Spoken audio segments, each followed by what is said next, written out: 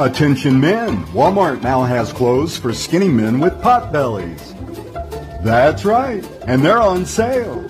No more being treated like a third-class citizen behind newly arrived migrants and Polish people.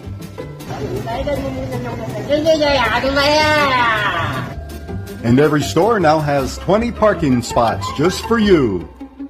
So what are you waiting for? Come on down.